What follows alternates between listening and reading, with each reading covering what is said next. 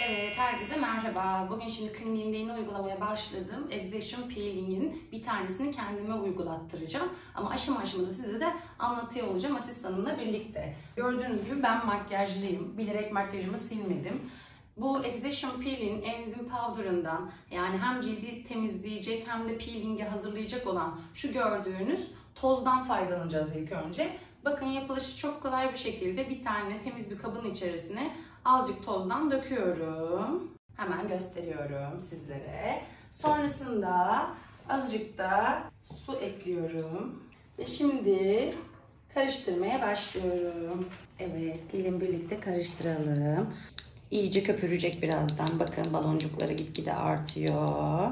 Bunu iyice köpürttükten sonra asistanıma yüzümü sürdüreceğim. Sonra asistanım suyla yüzümü temizleyecek ve böylelikle bütün makyaj kalıntılarından kurtulmuş olacağım. Ve dediğim gibi cildim Execution Peeling'e hazır olacak.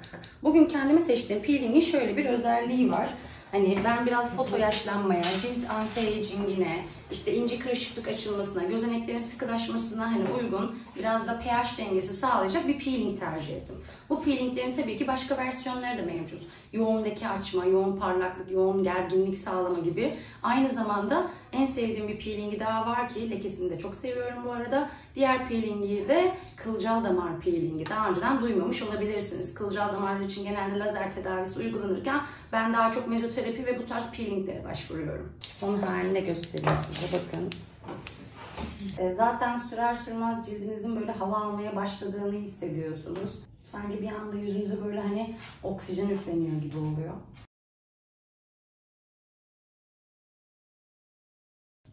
Şimdi masajladıktan sonra hazırladığımız ılık suyla birlikte cildimin bütün kalıntılarını temizleyeceğiz ve peeling'e hazır hale getireceğiz.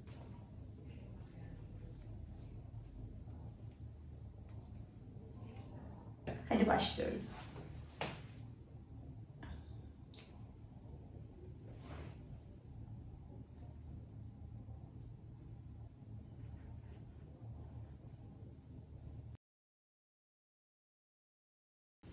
Gözle teması uygun olmadığı için açmıyorum gözlerimi. Fırça ilk yüzünüze değdiğinde hafif bir böyle yanma hissediyorsunuz ama çok hafif bir yanma hissediyorsunuz. Özellikle aslında problemli yerlerinizde hissediyorsunuz onu. Mesela ben şurada küçük bir sivilce çıkartmıştım. Şurada biraz hani gözeneklerimde genişleme vardı. Yani tam da böyle problemli olan yerlerinizde hafif bir yanma hissediyorsunuz. Sonra yavaş yavaş o hissiyat yatışıyor. Rahatsız edecek sizi. Hani e, bu işlemde e, soğutacak bir yanma hissi değil kesinlikle. Ben yine anlatmaya devam edeyim. Bu tarz peelingleri özellikle cilt aşılamaları yaptığım kişilerde hangi problemle uğraşıyorsam onlarla eşleştiriyorum. Mesela bu peelingi az önce de söylemiştim. Gözenek sıkılaştırma, yağ dengesi sağlama, cildi lifting, parlaklık, nem etkisi verme açısından kullanıyorum. İçeriği dediğim gibi çok geniş ve kimyasal peeling diye de geçse e, etken maddeleri çok daha doğal etken maddeler. Bizim mezoterapide de kullandığımız yani cilt içerisine iğnelediğimiz etken maddelere de sahip aynı zamanda. Dolayısıyla iyi bir kombin oluyor.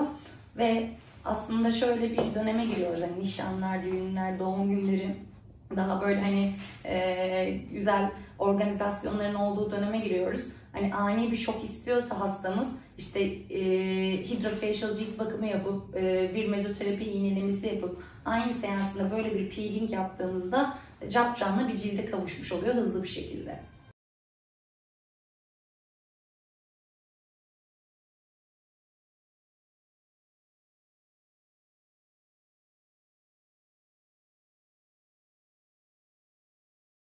Bir hatırlatma daha. Bu peelinglerin tek uygulama yeri yüz değil. Ben şu anda hani yüzümde e, bu ay yaptırmam gereken yani bu haftalarda yaptırmam gereken aslında cilt bakımını yapmayıp bilerek peelingi bekledim kendim için. E, tam etkilerini sizlerle de paylaşabilmek adına.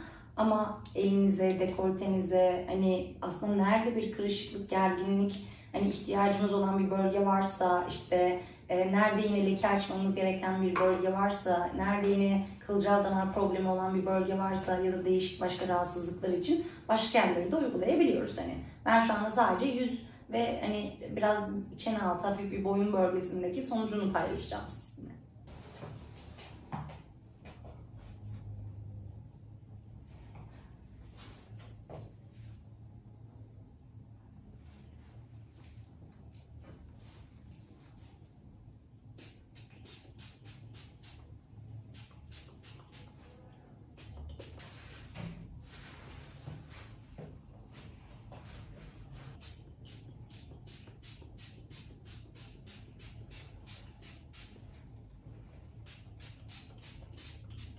Nötralizan sıkıldığında aslında tekrar bir ilk sürüldüğünde hissettiğiniz bir yanmayı hissediyorsunuz. Onu da açıklayayım size. Çünkü hani o aslında adı üzerinde nötralizan demek onun oradaki pH dengesini değiştirmek için uyarıyor tekrardan. Hani dağılması için de aynı zamanda. Dolayısıyla hafif bir yanma hissediyorsunuz. Ama zaten ikinci turun yapılmasının sebebi de işte ciltte tekrar bir kalıntı kalmasın. Hani bütün sürdüğümüz peelingler temizlesin diye Onda da hastaya soruyoruz aslında tekrar bir yanma oldu mu? Ama hastada tekrar bir yanma artık olmuyorsa cildi temizlenmiş demektir. Devam seti var aynı zamanda bu peelinglerin. Ice krem. Evet. Ice Cream diye bir yine kendi içerisinde benzer bir karışım ile birlikte aynı zamanda cildin e, ciddi yine nem dengesini sağlayacak, onarımını sağlayacak. Bu sadece böyle bir peeling değil, aynı zamanda bizim yaptığımız lazer tedavileri vesaire sonrasında da kullanılabilecek bir krem. E, Ice krem denmesinin sebebi evet dolapta saklanıyor. Daha soğuk bir şekilde uygulanıyor ve ciltte bir anda işte freshlik tekrar hissettiriyor. Şimdi asistanım da bana uygulayacak. Masajla birlikte en güzel kısmı bence.